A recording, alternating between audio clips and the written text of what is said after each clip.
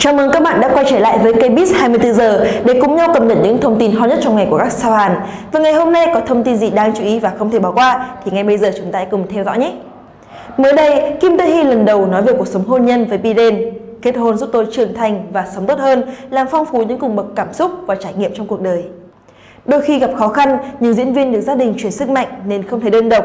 Vợ chồng cô muốn trở thành bạn của hai cô con gái và giữ kín hình ảnh vì muốn con có tuổi thơ yên bình. Tâm sự của Tehi được truyền thông châu Á lan tỏa và thu hút bình luận của khán giả. Đa số ngưỡng mộ gia đình của sao và chúc họ hạnh phúc.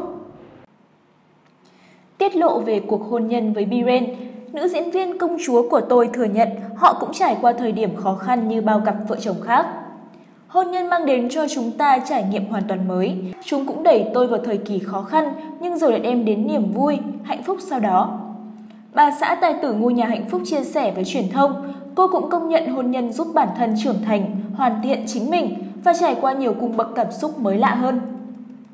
Ngôi sao xứ Kim Chi cho hay, hôn nhân sẽ cho bạn những trải nghiệm mới. Đương nhiên vào nhiều thời điểm, bản thân có thể rơi vào khó khăn, nhưng sau tất cả, tôi tìm thấy niềm vui trong đó. Tôi thấy việc kết hôn giúp tôi trưởng thành, trở nên hoàn thiện hơn và mỗi ngày đều có những cảm xúc khác biệt. Đây là một giấc mơ riêng tư đủ dài để tôi có thể chuyên tâm xây dựng một gia đình êm ấm, hòa thuận. Năm năm qua là thời gian tôi nỗ lực hết mình cho giấc mơ đó.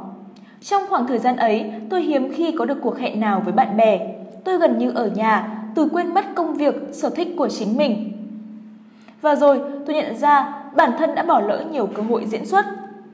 Dẫu rất hạnh phúc với thiên chức thiêng liêng, sao nữ đình đám cũng thừa nhận việc vừa làm mẹ vừa làm diễn viên thật sự rất khó khăn. Tôi muốn làm thật tốt, làm hết mình trong việc nuôi dạy con cái và việc nhà, nhưng tôi luôn thiếu ngủ và mệt mỏi.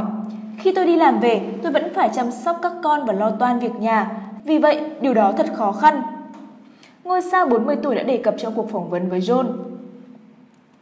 Ngày 1 tháng 1 năm 2013, showbiz Hàn rúng động khi Dispatch đăng loạt ảnh Taehi Biren bí mật yêu đương. Đại diện hai bên thừa nhận theo Dispatch, Ren chủ động theo đuổi mỹ nhân hơn anh 2 tuổi. Đến với nhau vào năm 2012, tháng 10 năm 2013, Ren bị khán giả chỉ trích khi lén ra ngoài gặp bạn gái trong thời gian thực hiện nghĩa vụ quân sự. Sau scandal, đôi tình nhân khép kín hơn. Sáng 17 tháng 1 năm 2017, Biren gửi thư tay đến fan trên Instagram thông báo kết hôn. Tôi sẽ trở thành người chồng tốt, trụ cột của gia đình. Cô ấy luôn ở bên tôi, lúc gặp khó khăn cũng như khi hạnh phúc. Cô ấy ảnh hưởng đến tôi theo nhiều cách khác nhau. Hai ngày sau, họ làm đám cưới đơn giản tại nhà thờ ga Hoe Đông, Seoul, chỉ mời 10 khách. Mọi thông tin và hình ảnh được giữ kín. Tổng chi phí hôn lễ khoảng 1.100 đô, tương đương với hơn 24 triệu đồng, bao gồm tiền thuê địa điểm, hoa tươi, trang trí tiệc, vân vân. Phí này chưa tính váy, vest và nhẫn của cặp sao. Đây là một trong những đám cưới tiết kiệm nhất showbiz Hàn. Được biết đến với danh xưng người đẹp nhất xứ sở Kim Chi, Kim Tae Hee nổi tiếng qua các vai diễn gây sức hút trong các bộ phim truyền hình như Nước thang lên thiên đường, Chuyện tình ở Harvard, Iris, Công chúa của tôi. Cô còn là một trong những người có số lượng quảng cáo khủng nhất làng giải trí Hàn Quốc.